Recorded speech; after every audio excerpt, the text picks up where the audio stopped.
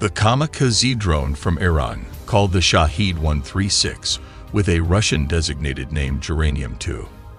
Now let us look at why is this a big deal.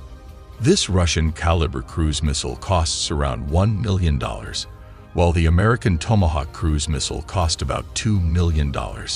Comparing with the Shahed 136, it is more or less a low-budget cruise missile with a reported price tag of just 10 to $20,000 dependent on variants, while the average price of cars here in America is around $40,000.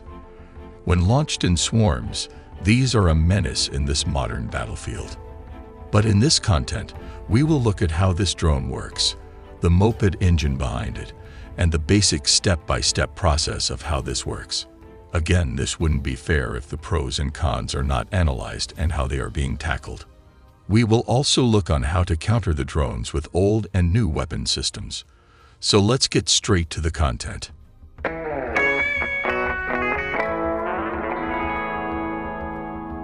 This is the Iranian Shahed 136, a modern single-use loitering munition, or some might call it the Kamikaze, or suicide drones. Now let us analyze what is a loitering munition. A loitering munition, commonly referred to as a suicide drone or kamikaze drone. Loitering munitions are cheap rapid response time against hidden or covered targets that appear for short periods of time, without positioning high-value drones close to the target area. It has its advantage and disadvantages, which would be clarified throughout our content. Now let us look at the specification.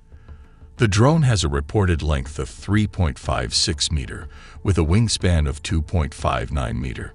The drone has a delta wing configuration. Let's compare this to a person to understands its size.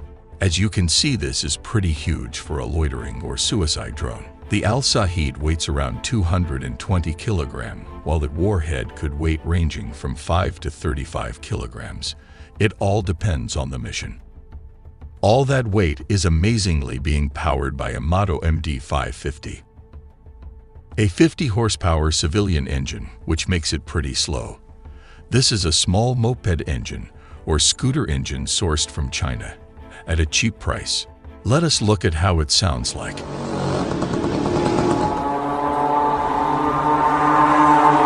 The soldiers on the battlefield reported it sounded like the World War II German planes the Stuka. Interestingly, the Germans intentionally developed this siren to create a psychological impact in the battlefield. They would install a wind-driven siren that uttered a screaming sound at a maximum dive speed. But instead of the German Stuka siren, in this modern battlefield, you will be hearing a two-stroke moped buzzing in the air, which would be soaring through the sky. These are reported to be the flaps located just beside the two-stroke engine, and these are what are called the elevons, which function like the elevator of the plane. From what we know, the Al-Shahed drones are guided by GLONASS, or anti-radiation seeker located in the middle of the fuselage.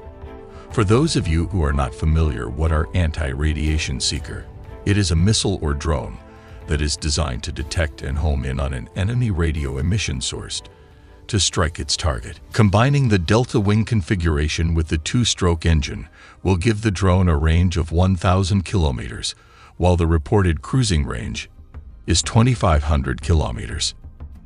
Now, let us look at what is inside the belly of this drone. This is the RATO, or Rocket-Assisted Takeoff, which we will be explaining later in the content. Let us look at the basic step-by-step -step process of how this works. Step number one, the drone is carried on a simple truck carrier that looks like it is for cargo transport. But inside this cover are these menacing swarm drones. Each launcher in a standard truck container transports around five menacing drones. Step number two. Inertial navigation or GLONASS data, a Russian alternative to GPS, are fed to these drones. Points to be noted they are using a civilian inertial navigation system, but could be upgraded in the future. Step number three. At a press of a button, the drone is launched with the rocket-assisted takeoff. This rocket-assisted takeoff is ejected just like this. This was installed to reduce weight and efficiency and let the two-stroke engine take over. Step number 4. As these are swarm drones, a total of 5 to 10 are used all at once to overwhelm the enemy air defense system. Step number 5. The drone will be loitering at extremely low altitudes which would make them difficult to shoot. The UAV drones would be operating in a swarm. In addition, the Al-Shahed 136 are quite small and have a composite structure, which makes them difficult to detect with the help of radars. Step number 6. When it reached its targets, the drone will dive in with all five or just even two remaining drone, swarming in full speed to destroy the target. Now, let us look at its limitations. The precision of the drone terminal is derived from commercial inertial navigation system. If this is jammed or disabled or obstructed, both of these could stop the drone from getting to its target. As stated, this drone is flown at very low speed. This could be countered by the Javelin or even Stinger missiles, but the cost factor comes into play. The solution is the Gepard, which is an all-weather capable German self-propelled anti-aircraft gun with built-in radar. These could counter most of the Kamikaze drones at an effective range of 5.5 kilometer. The second cheaper version is the Soviet Union anti-aircraft gun ZU-23 used by Ukraine.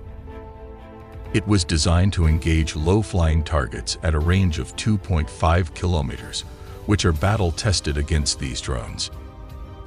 Considering all these limitations, we have to remember these are swarms drones, operating in a group of five. One drone could always get past the defense system and thus create a dangerous weapon to the modern battlefield. At AI Tele, we produce basic engineering content regardless of countries or race. We love to know how stuff works. So smash the subscribe button to help us produce more content like these.